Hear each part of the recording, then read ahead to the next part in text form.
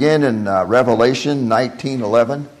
I'm going to read the rest of this chapter, then back up and make some comments on it. And then we will uh, use chapter 20. Next week, we will finish the book of Revelation. And I'm not quite sure where the group is going to go from there, but uh, I'm sure they'll be discussing it before we're finished with Revelation. But they, they talk some of uh, going back to Genesis. There's the usual pattern is uh, they go back to one of the Gospels and start over. I think it took five years to get from one of the Gospels to here. Maybe we did two Gospels meanwhile. But uh, so if you don't get everything you need out of this, hang around for five years and we'll be at this station again. Okay? All right. In 1911, I, I love these first words. Now I saw heaven opened. How would you like to be there? Uh, now I saw heaven open, and behold, a white horse. And he who sat on him was called faithful and true, and in righteousness he judges and makes war. His eyes were like a flame of fire, and on his head were many crowns. He had a name written that no one knew except himself. He was clothed with a robe dipped in blood, and his name is called the Word of God. And the armies in heaven, clothed in fine linen and white and clean, followed him on white horses. Now out of his mouth goes a sharp sword, that with it he should strike the nations. And he himself will rule them with a rod of iron. He himself treads the winepress of the fierceness and the wrath of Almighty God. And he has on his robe and on his thigh a name written King of kings and Lord of lords. Then I saw an angel standing in the sun, and he cried with a loud voice, saying to all the birds that fly in the midst of the heaven, Come and gather together for the supper of the great God, that you may eat the flesh of kings, the flesh of captains, the flesh of mighty men, the flesh of horses, and of those who sit on them, and the flesh of all people, free and slave, both great and small. And I saw the beast, the kings of the earth, and their armies gathered together to make war against him who sat on the horse and against his army. Then the beast was captured, and with him the false prophet who worked signs in his presence, by which he deceived those who received the mark of the beast and those who worshipped his image. These two were cast alive into the lake of the fire burning with brimstone. And the rest were killed with a sword which proceeded from the mouth of him who sat on the horse, and all the birds were filled with their flesh. you know, when Jesus uh, came the first time, he, he came as uh, a suffering servant. You know, the prophets predicted that. He would come as one who was to reveal to all mankind the nature of God, reveal to all mankind the purpose of God for man on earth and so he was born of a virgin, born as a child, grew up and suffered all of the um, indignities and difficulties of being a child growing into an adult. And then, as an adult, uh, his uh, persona, his message was rejected by the uh, religion of that time. They didn't believe that he was who he said he was, and they chose to refuse him and would not let him into their circles. And so he was kind of caught between, you know, uh, his humanity and his divinity. And even though he was uh, the Son of God, he suffered all of the indignities and the problems of humanity that anybody would suffer, that most of us have suffered. Um, the rejection, the heartaches, and so forth. And, and as he came as the first one, he, he chose people to walk with him and to learn of his uh, message. And, and actually, uh, those 12 men or those disciples were commissioned to carry his message into all of the world. And we're here today because they succeeded. The disciples succeeded in carrying the message into all the world, and here we are. We're talking about that today. And there's, there's no greater message on earth for us to share with others than the message of Jesus Christ, the one who came from God, who was sent from God. He lived and he died among us and was resurrected from the dead and ascended into heaven. There's no greater message on earth of hope and encouragement than that message. And it's through that message that all men gain access to God. And here we see the second time Jesus comes, he's not Mr. Nice Guy anymore. He is uh, one who brings uh, the judgment of God. See, God offered his love, but many who did not receive his love stand to uh, face his wrath. And that's what we're reading about here. His wrath is correct, it's just, it's righteous, because he has offered salvation to every man on the face of the earth. I don't believe there's a person who, in some way or some fashion, has not understood that there is one above us who is greater than we are, and that there is a place for him or her in that relationship if they will accept it. I believe his, his grace and his mercy has extended to everybody on the earth because God loves everybody. There, there's no exception. God loves everyone. And even people who have not heard the gospel as we have heard it have some form of worship and adoration for someone who's beyond them. You know? One, as one African put it so well, he said, We're worshiping its, we're worshiping bushes, and we're worshiping trees, and we're worshiping rocks, and God is not an it. God is a him. So please, would you reveal yourself to me? And this guy said that one day a white woman came walking into his village with a black book under her arm. And he rushes toward her because he sensed that she had something to share. What's his name? What's his name? And she led him to Jesus because that is his name. See? And now we're here see him at, on a white horse coming from heaven to exercise the wrath and the justice of God upon all of the people who have plenty of opportunity to say yes to Jesus but would not. They reject him. And I think it's interesting when I see this that earlier in the book there was a guy on a white horse, but he was not the real Jesus, he was somebody else. So there are, there are going to be fakes coming, people who say they are going to bring the justice of God to earth. But notice, like in verse 12, his eyes were like a flame of fire. And I've tried to visualize that, you know, what that would mean to face Jesus who had eyes like flames of fire. And perhaps you've seen people that uh, when you look into their eyes, it, it seems like they can look right through you. It seems like they can look right into your soul and know what you're thinking. Well, when I think of the eyes which were like flames of fire, you know, when, they, when you look into those eyes, you will either fall down in worship or in submission because those eyes are the eyes of the one who created us, like flames of fire. And we know what flames of fire can do. And it says, On his head were many crowns. And then he had a name written that no one knew except himself.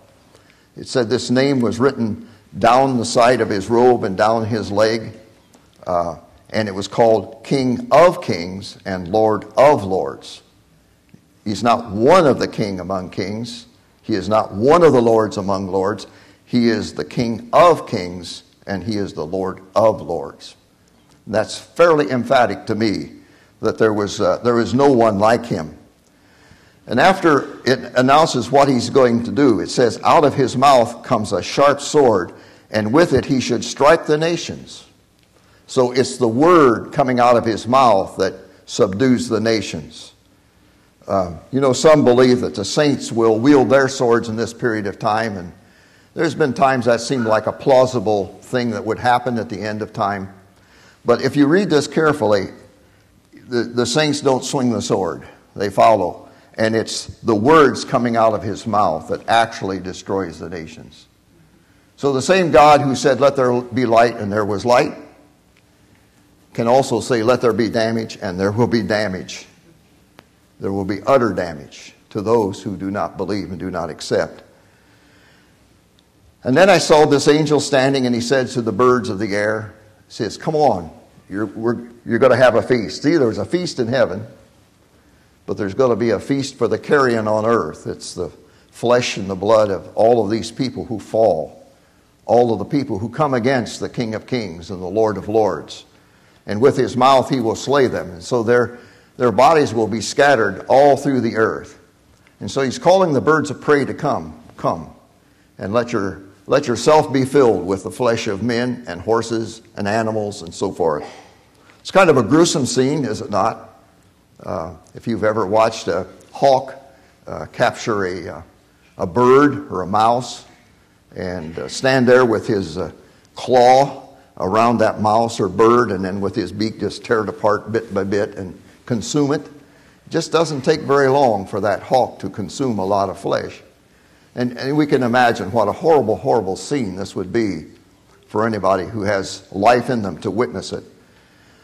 But it's very real. It says that it's the, the damage and the, and the judgment upon the people of the earth is going to be very thorough. Those who have not accepted Jesus will be caught up in this. Those who come against him and think that they can conquer him with numbers, see, that's foolish. They think they can conquer God with numbers, and they cannot do it. And then, meanwhile, the beast was captured, and the false prophet who worked signs in the presence by which he deceived those who received the mark of the beast and those who worshiped his image. See, man promises a lot of things that they're going to do. Uh, I, I, don't like the political sessions because I know that uh, the people who make a lot of promises, I don't care who they are or what stripe they are, they make a lot of promises, but they haven't been up there in that city uh, we call Washington, D.C., our capital. They don't know what the lobbyists are like. They don't know what the minions are like that lurk the halls and try to influence the minds of those who go. And it seemed like some who maybe go with pure motives, in a few years, where did those, where did those promises go? What were you like then and what are you like now? And, and so the armies of the earth think that they can make promises to man, gather man together, and actually defeat God. What a foolish idea. What a foolish uh, concept they have. And it says in verse 21, it's very conclusive, and the rest were killed with a sword which proceeded from the mouth of him who sat on the horse, and all the birds were filled with their flesh. That's very conclusive that it is Jesus, the one who came meek and lowly, riding on a donkey, the foal of a donkey, now comes on a white horse, and the sword out of his mouth can conquer anything on the face of the earth. It's awesome. It's awesome. We ought to consider that. Then we move on to uh, chapter 20. Let's read that. Um, let me have a drink before I read.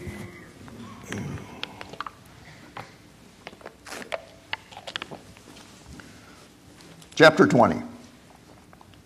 Then I saw an angel coming down from heaven having the key to the bottomless pit and a great chain in his hand. He laid hold of the dragon, that serpent of old, who is the devil and Satan, and bound him for a thousand years. And he cast him into the bottomless pit, and shut him up, and set a seal on him, so that he should deceive the nations no more till the thousand years were finished. But after these things, he must be released for a little while. And I saw thrones, and they sat on them, and judgment was committed to them. Then I saw the souls of those who had been beheaded for their witness to Jesus and for the word of God, who had not worshipped the beast or his image, and had not received his mark on their foreheads or on their hands, and they lived and reigned with Christ for a thousand years. But the rest of the dead did not live again until the thousand years were finished. This is the first resurrection. Blessed and holy is he who has part in the first resurrection. Over such the second death has no power but they shall be priests of God and of Christ, and they shall reign with him a thousand years. Now, when the thousand years have been expired, Satan will be released from his prison and will go out to deceive the nations which are in the four corners of the earth, Gog and Magog, to gather them together to battle, whose number is as the sand of the sea. And they went up on the breadth of the earth, surrounded the camp of the saints and the beloved city and fire came down from God out of heaven and devoured them. The devil who deceived them was cast into the lake of fire and brimstone, where the beast and the false prophet are, and they will be tormented day and night forever and ever. Then I saw a great white throne, and him who sat on it, from whose face the earth and the heaven fled away, and there was found no place for them. And I saw the dead, small and great, standing before God, and books were open, and another book was open, which is the book of life. And the dead were judged according to their works by the things which were written in the books. The sea gave up the dead who were in it, and death and Hades delivered up the dead who were in them and they were judged, each one according to his works. Then death and Hades were cast into the lake of fire. This is the second death. And anyone not found written in the book of life was cast into the lake of fire. Well, the good news of this chapter is that Satan's going to be bound for a thousand years. That's, that's an awesome thing to contemplate. Uh, you know, if this is a period of time when Satan is bound and man is expected to live before his Creator, uh, how will that work? Um, I've been I've wondered about this particular phase of our existence a lot of times, and to me it connects back to the beginning of time when God created Adam. You know, there was a, there was a plan for Adam and Eve in the garden that was brought short. Why? Why was their existence in the garden brought short? It was because of sin. It was because of sin. And, and at sin, they, their life ended. Now, Adam was uh, 930 years old when he died. You know, just a little short of uh, a thousand.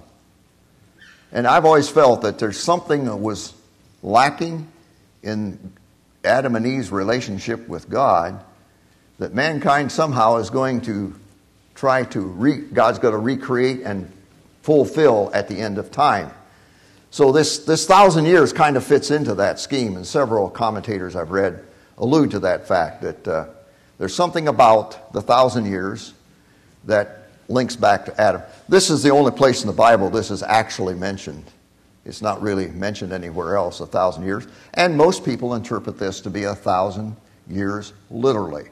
And that's the way I've always been taught, that it's a thousand years literally, that we would be upon the face of the earth. But whatever the time is, the important fact is this that those who exist in that time, their, their concept of right and wrong will be uh, locked within themselves according to what kind of relationship they have with God. And I don't know about you, but if Satan is not there to tempt us, uh, can we, will we be able to really live with God in a peaceful way for a period of time, for say like a thousand years? And will I be alive the whole thousand years? I, don't really know. But I know I am alive eternally because I know Jesus Christ. So, whatever this period of time is, God has already made provisions for us that we can exist and live in such a time as this, and that we can understand His ways with us more fully then than we can now. I don't know about you, but as I think of myself, you know, being transported from this life into that life, uh, I don't think sin goes away that easy, you know, my, in myself, in my own thinking. But God has some plan here that He is going to exhibit to all people who live through, through this period of time that it is possible without Satan's intervention. It is possible for man and woman to live in relationship to God in a healthy relationship that is blessed.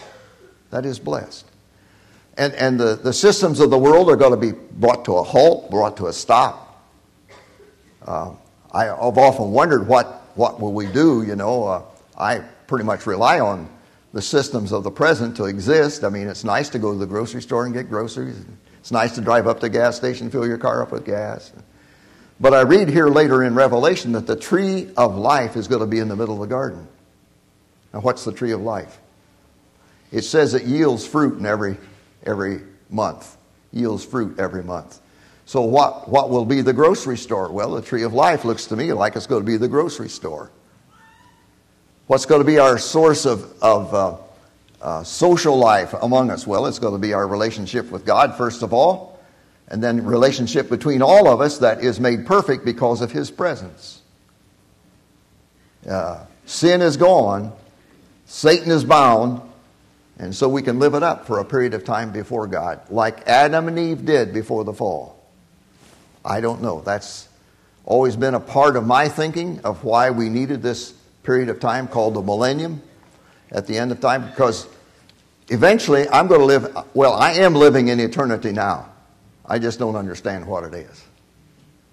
The only part I understand is the part that I have lived since I was born some years ago and to the present. And I'm not sure I understand all of that, but I know something about that period of time, but I don't know much about the period of time which we call eternity, except it's with God and it'll be with Him forever and ever and ever. So, I don't know what you think about this. Uh, I don't know how you uh, chain a spirit. It says the devil and it's going to be chained. I don't know how you chain a spirit. So there's things I don't understand. But I do understand this that God who loves us has a plan for us. And He's going to put us in a position where we can relate to Him perfectly. I'm looking forward to that, even though I don't understand that. And what that means for every believer, I don't know. Uh, you know, Jesus said in some of his parables that if we're faithful in a little here, we will be placed over much in this period of time. And I presume it's the period of time that we call the thousand years, or the period of time when our relationship with God basically exists because God has created a time when we can relate to just to Him without the devil being present, without the devil uh, throwing thoughts in our mind to cause us to take advantage of our fellow man or to blaspheme the God Almighty that we all love. So there you are, the thousand years and then it says at the end of those thousand years, Satan will be released for a little time, maybe to test us to see if there is yet sin in us, if it can be brought out, if sin can be brought out. My prayer would be that would be for about five minutes, but I don't know how long that'll be. Uh, because, you know, I'm concerned that there are things in me that would last an eternity. I don't know. But God has a plan that's really mysterious to me about this thousand years. This maybe it's a preparation time for eternity. Maybe it's uh, to bring conclusion to the things that we've depended upon on earth that we thought were so important to us. And during this period of time, we'll realize that those things that we thought important are not important. I don't know. But, but it certainly is a blessing that we have this, these couple of chapters here at the end of Revelation to describe to us something about the transition between this life and eternity. But, but I, can, I can guarantee you, from what I know about the Word, there's going to be some big things done during this period of time.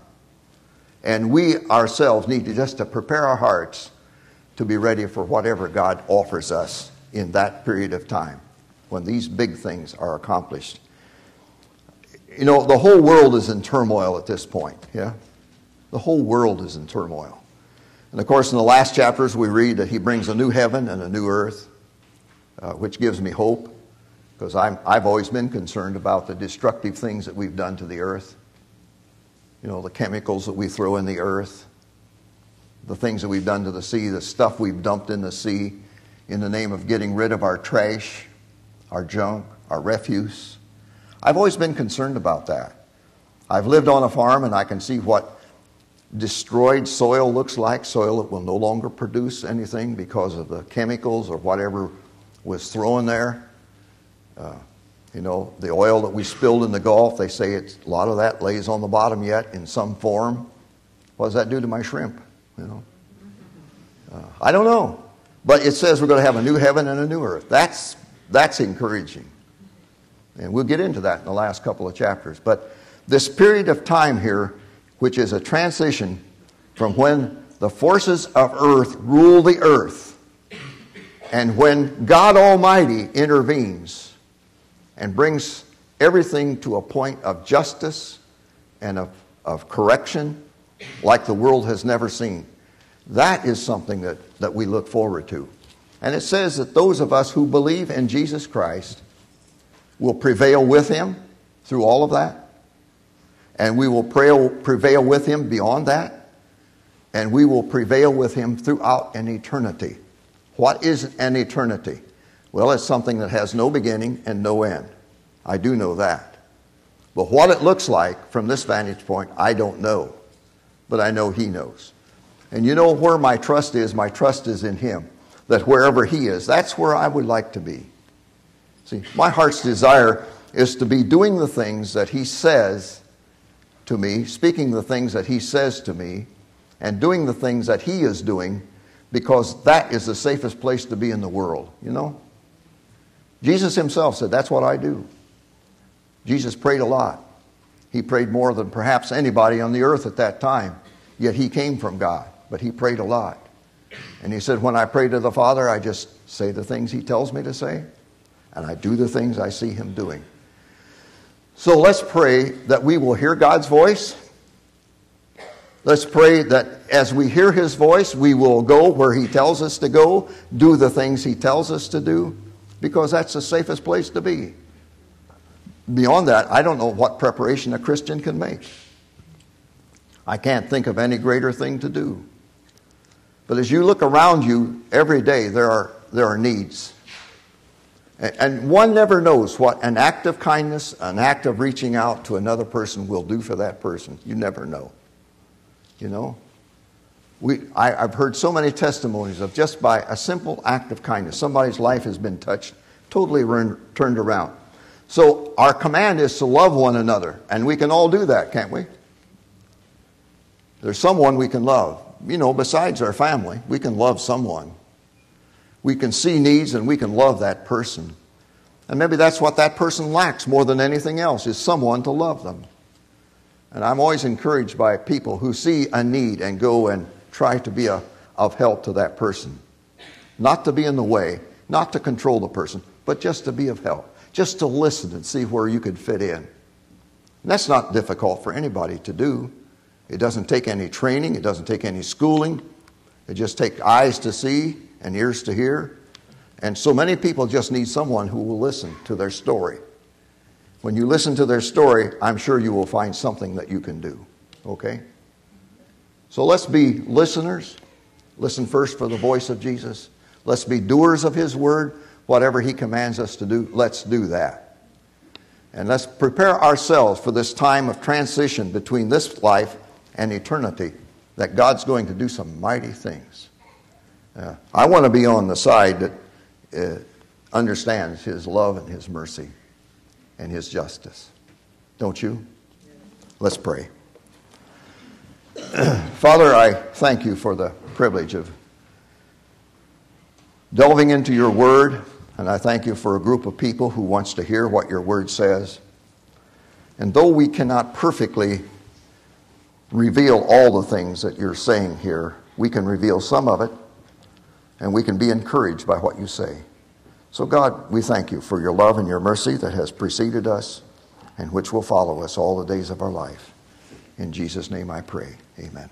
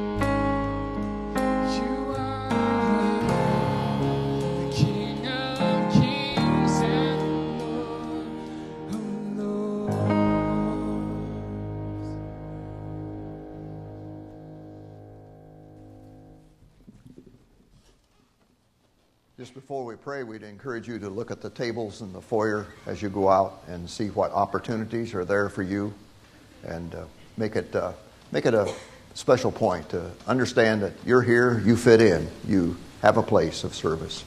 Let's pray. Well, Father, I want to thank you for this day, and I thank you for each person who has come. And I sense your great love for all of us, every individual in here, and no matter what we've done or where we've come from or what our current thinking is, you love everybody in this room. And it's an awesome love that you have poured out upon us. It's, it's nothing to be trifled with, it's, it's real, it's genuine. And I know that you love us where we are, but you also love us enough never to leave us where we are, but to lead us to where you would like for us to be. So, God, we pray that if anybody's heart was touched here today, that they would feel free to have somebody pray with them to confess that they want more of Jesus or they just want to meet Jesus for the first time. I pray that they would be free enough to come and allow someone to pray with them. Thank you, Father, for your love. In Jesus' name we pray. And all the people said, Amen.